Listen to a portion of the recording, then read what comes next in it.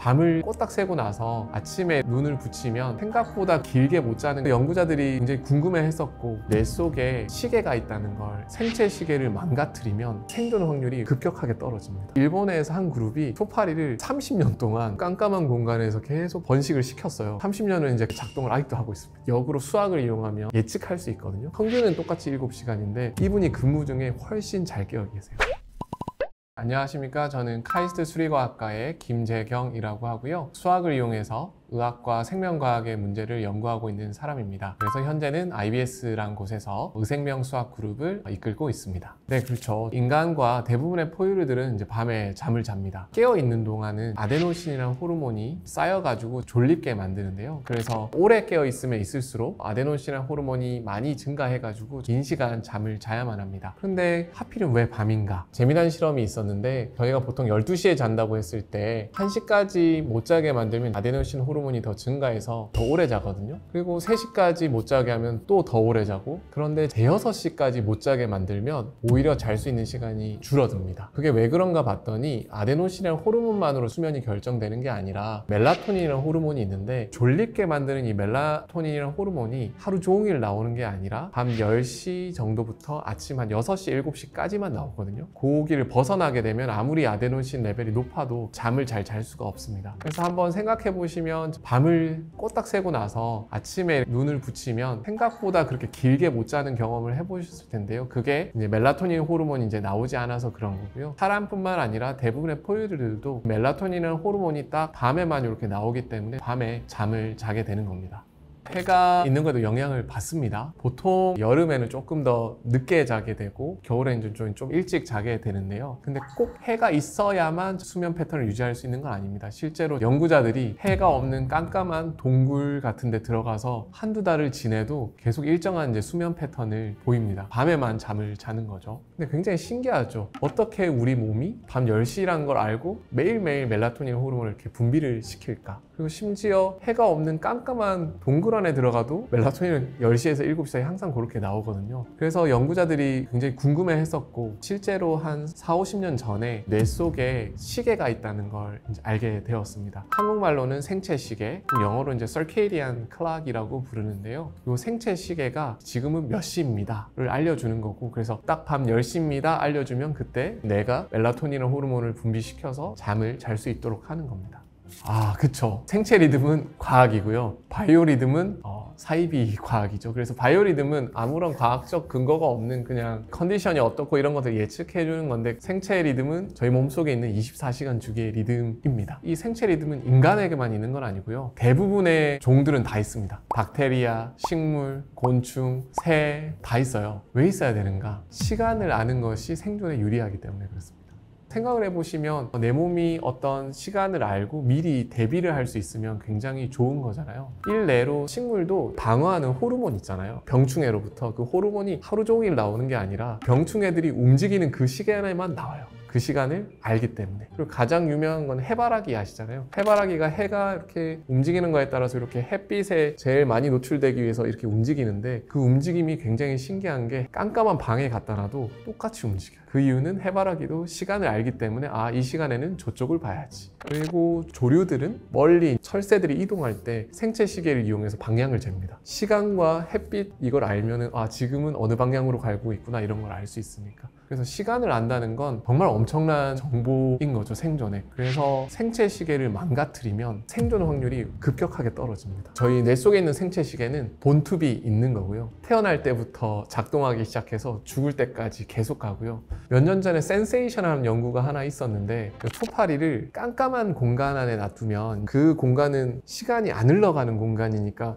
그럼 이게 태화하지 않을까? 그래서 일본에서 한 그룹이 그 초파리를 거의 한 30년 동안 계속 계속 깜깜한 공간에서 계속 번식을 시켰어요. 30년을 이제 꺼내서 과연 생체 시계가 작동을 안 할까 봤는데 작동을 아직도 하고 있습니다. 사람도 그러면 아침형 인간과 저녁형 인간이 있는데 생체 리듬이 다른 것인가? 네, 다릅니다. 어떤 거냐면 아까 제가 멜라토닌이 보통 10시에서 아침 7시 사이에 나온다고 했잖아요. 근데 아침형 인간은 이게 좀 한두 시간 앞에 나와요. 그리고 저녁 인간은 요게 뒤에 나옵니다. 그 이유는 생체 시계가 그 주기가 대충 24시간이라고 했는데 아침형 인간은 조금 짧아요. 23.5시간에서 7시간. 그리고 저녁형 인간은 좀 길어요. 24.2에서 3시간. 그러면 내 생체 시계의 주기는 얼마인지 궁금하잖아요. 그걸 할 수 있는 현재 방법은 깜깜한 동굴에 들어갑니다. 그러면 23.7시간을 가지신 분은 신기하게도 매일매일 아침 0.3시간씩 일찍 일어나요. 그리고 긴 분들은 0.23시간씩 늦게 일어나요. 그걸 알면 내가 본투비 아침형 인간이구나, 저녁형 인간이구나를 알 수 있는데 그러기엔 너무 어렵죠. 그래서 지금 저희 연구실에서 지금 하고 있는 연구 중에 하나가 요즘 이제 스마트워치 많이 차잖아요. 이 스마트워치에서의 이제 수면 데이터를 수학으로 분석을 하면 이 사람의 생체 시계 주기를 역으로 추정해낼 수 있거든요. 그래서 그걸 추정해내서 당신은 원래는 아침형 인간인데 안타깝게도 삶이 그렇게 해서 저녁형으로 지내고 있 군요. 이런 얘기를 해드릴 수 있을 것 같아서 지금 삼성병원이랑 열심히 연구 중이고 아마 내년 정도면 누구나 다 해보실 수 있을 것 같아요. 대부분의 현대인들은 인위적으로 저녁형 인간이 되어버린 것이고 재작년에 굉장히 재미난 연구가 있었는데 콜로라도 대학에서 학부생들은 데리고 오면 다 자기 저녁형이라 그래요. 저녁형 인간이라고 주장하는 친구들 20명을 데리고 콜로라도 산에 깜깜한 곳에 캠핑을 갔어요. 3, 4일 지났더니 모두 다 아침형으로 바뀐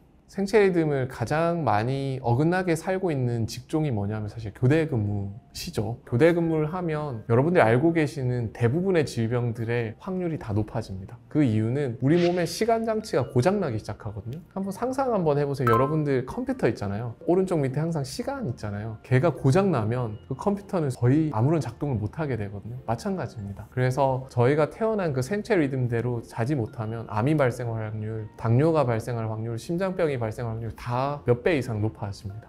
그러면 왜 야행성 동물들은 밤에 잠을 안 자고 낮에 활동하는 것인가? 이 질문도 과학자들이 당연히 매우 궁금했었고요. 사실 몇십 년 전까지만 해도 믿어왔던 가설은 생체 시계 리듬이 아, 야행성 동물들은 반대가 아닐까? 그럼 굉장히 자연스럽잖아요. 그런데 최근 연구에 따르면 똑같아요. 아까 멜라토닌 호르몬이 사람은 밤 10시에서 아침 7시에 나온다 그랬잖아요. 근데 야행성 동물도 그 시간에 똑같이 나와요. 그럼 얘들은 왜 그때 잠 안 자고 낮에 자지? 봤더니 똑같은 멜라토닌 호르몬을 사람한테 주면 사람은 졸린대요. 야행성 동물은 그때 멜라토닌을 주면 더 잘 깨워요. 똑같은 호르몬도 몸에서 해석이 반대로 되는 겁니다. 사람은 멜라토닌 호르몬이 나왔을 때 졸리기 때문에 밤에 잠을 자는 거고 야행성 동물인 쥐는 밤에 멜라토닌 호르몬을 주면 오히려 더 각성 상태가 올라가 가지고 잠을 낮에 자게 되는 겁니다. 우리 인간도 인간의 생애를 보면 야행성 동물과 가장 유사해지는 시기가 있습니다. 바로 중고등학생인 청소년기죠. 그때가 되면 유독 늦게 잠을 자고 늦잠을 엄청 자죠. 저도 엄마가 어릴 때 안 일어나가지고 엄청 깨웠던 기억이 있는데 그런데 제가 이 분야를 연구하고 나서 굉장히 재미났던 게 사람만 그렇지 않아요. 포유류들은 2차 성징기가 되면 다 늦잠을 자고 늦게 일어나요. 왜 그런가 봤더니 그 생체 시계가 짧으면 2시간, 길면 4시간씩 뒤로 밀려요. 그래서 어른한테는 아침 7시가 그 친구들한테는 새벽 4시, 5시거든요. 그러니까 너무 졸린 거예요. 그래서 그것 때문에 미국에서는 많은 고등학교들이 등교 시간을 다 늦춰줬어요. 그 과학적 근거 때문에 여전히 과학자들이 궁금해하는 건 뭐냐면 왜 하필 청소년기에 뒤로 밀릴까 여러 가지 가설들이 있는데 제가 봤을 땐 가장 설명이 잘 되는 가설이 뭐냐 하면 2차 성징기가 됐을 때 어떻게 보면 수컷과 암컷이 교미를 했을 때 가장 건강한 자손을 만들 확률이 제일 높은 거잖아요 딱 2차 성징기에 돌입한 수컷과 암컷의 시간을 4시간 뒤로 미루면서 얘들이 만날 확률을 훨씬 높여주는 거죠 건강한 자손들이 번식될 수 있도록 그렇게 진화한 게 아닐까 합리적인 가설인 것 같습니다. 그런데 이제 문제는 뭐냐 하면 뒤로 밀리는 것까지는 상관이 없는데 이때 강한 빛을 보면 생체 시 계가 성장 호르몬 밤에만 나오거든요. 어? 이게 밤이 아니라 낮인가? 헷갈려요, 얘가. 그럼 성장 호르몬이 안 나와요. 그래서 매우 늦은 시간에 유튜브나 넷플릭스 이런 것들을 많이 보면 성장 호르몬이 안 나올 가능성이 높고 키가 제대로 안 클 가능성이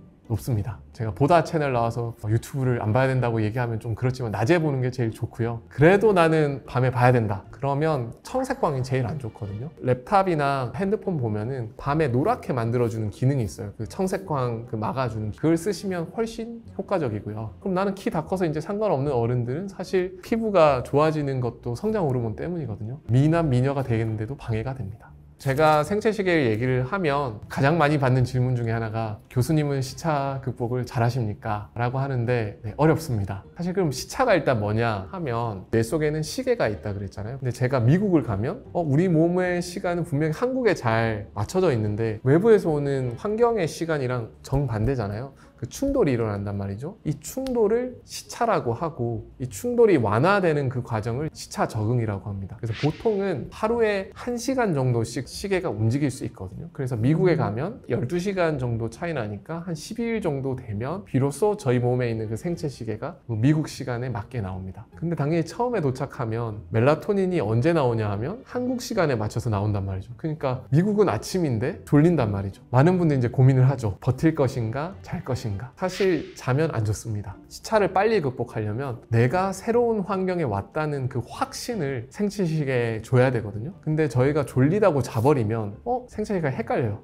한국에 있나? 그러면 그 적응이 느려집니다. 그래서 최악의 행동은 뭐냐 하면 미국에 갔을 때 새벽에 깐단 말이죠. 깨서 TV를 보면서 야식을 먹으면 최악입니다. 그럼 반대로 뭐가 제일 좋냐 하면 미국 시간에 맞춰서 빛을 쬐이고 그 시간에 맞춰서 아침, 점심, 저녁을 먹는 게 시차 극복을 제일 빨리 할 수 있는 방법입니다. 제가 연구하고 있는 분야 중에 하나가 어떻게 하면 효율적으로 잠을 잘 잘 수 있을까? 같은 시간을 자도 근무 중에 덜 졸릴까? 시험 중에 덜 졸릴까? 뭐 요게 이제 제가 요즘 열심히 연구하고 있는 분야인데요. 방법이 있어요. 심플하게 말씀을 드리면 우리 몸이 매일매일 필요로 하는 수면량이 있어요. 근데 그 수면량은 뭐에 의해서 결정되어 있냐 하면 아까 아데노신이 많이 쌓이면 많이 자야 된다고 했잖아요. 그게 하나. 그리고 아까 멜라토닌이 호르몬이 나올 때 자면 좀 길게 자야 되고 그래서 요두 호르몬을 보고 수면 시간을 결정하면 그게 가장 최적이거든요. 똑같이 평균 7시간을 자는 사람이 있는데 어떤 사람은 아데노신이랑 멜라토닌 그 호르몬 프로파일에 따라서 뭐 어떤 날은 5시간도 잤다가 어떤 날은 6시간, 7시간 이렇게 조절하면서 잔 분이랑 그거랑 좀 많이 다르게 자신 분이랑 비교해 보면 평균은 똑같이 7시간인데 이분이 근무 중에 훨씬 잘 깨어 계세요. 그럼 도대체 그럼 하루에 내가 필요한 수면 시간을 어떻게 알 것인가? 어렵죠. 왜냐면 호르몬을 측정을 매일매일 할 수는 없는 일이니까. 그래서 저희 연구실에서 하고 있는 일이 여러분 스마트폰이나 스마트워치에서 측정된 수면 데이터를 가지고 아데노신 레벨이나 멜라토닌 호르몬 이런 것들을 저희가 역으로 수학을 이용하면 예측할 수 있거든요. 그걸 계산해 가지고 당신은 오늘 8시간 자야 됩니다. 5시간 자야 됩니다. 이런 걸 이제 알려주는 이제 프로그램을 개발을 했고요. 앱은 이제 다 완성이 됐고 이름은 사실 Sleep Wake란 앱입니다. 지금 이제 마지막 최종 테스트 중인데 요. 가을 아니면 겨울 정도면 누구나 다 사용하실 수 있을 겁니다. 네, 안드로이드, 아이폰 다 됩니다. 매일매일 필요한 수면량이 다른 이유는 만약에 여러분이 매일 일정한 시간에 자고 매일 똑같은 양의 수면을 하면 거의 똑같을 거예요. 근데 제 주말을 돌이켜보면 평소에 자는 시간보다 솔직히 좀 늦게 잤고요. 늦잠 잤고요. 그리고 뭐 어떤 날은 논다고 좀 이렇게 짧게 자는 날도 있고요. 그럼 이런 변동성이 생기면 그게 영향을 주기 시작합니다. 그게 가장 잘 와닿는 게 월요일 아침이죠. 월요일 아침 되면 분명히 나는 잔다고 잤는데 피곤하단 말이죠. 그게 사실 주말 동안 그런 것들이 흐트러져서 그런 거거든요. 그래서 내가 매일매일 일정하게 잔다 그럼 별로 필요가 없고요. 그분들은 일정하게 주무시면 되고 근데 내 생활이 조금 불규칙하다 그런 분들은 그 필요 수면량이 생각보다 많이 바뀝니다. 그리고 가장 사실 제가 이 앱을 개발해야 되겠다고 결심한 계기는 교대 근무자분들입니다. 교대 근무자분들은 본인이 원해서가 아니라 억지로 사실 불규칙한 수면 패턴을 가지고 계신 분들이라서 그분들은 정말 필요로 하는 수면량이 매일매일 엄청나게 많이 바뀌거든요. 어떤 날은 10시간 자야 되는 날도 있고 어떤 날은 3시간만 자도 되는 날이 있거든요. 그런 것들을 알려드리고 싶었어요. 제가 지금까지 생체 리듬을 소개를 드렸는데 생체 리듬 분야에서 이제 노벨상을 받으신 분들이 있습니다. 2017년에 제프리 홀, 마이클 로스배시 그리고 마이클 영 요 세 분의 미국 과학자분들이 30여 년 전에 생체 시계가 어떻게 작동하는지 그 분자적 메커니즘을 찾으셨는데요. 그 공로로 노벨 생리의학상을 받으셨습니다. 사실 생체 시계가 있다는 것 자체는 꽤 오랫동안 알려져 있었는데요. 근데 생체 시계가 작동한다는 건 어떤 뜻이냐 하면 생체 시계 안에 그 세포를 이렇게 들여다보면 그 안에 이제 Period라는 유전자가 있거든요. 근데 그 Period 유전자가 24시간 주기로 이렇게 리듬을 그리면서 발현이 돼요. 이 24시간 주기에 자동으로 발생되는 리듬이 있으면 그게 이제 시계 역할을 할 수 있는 거거든요. 왜냐하면 시침이 24시간이 지나면 제자리로 돌아오잖아요. 도대체 이 Period 유전자가 어떻게 스스로 햇빛 없이 24시간 주기의 리듬을 만들어내는지를 찾으셨습니다. 이 세 분이.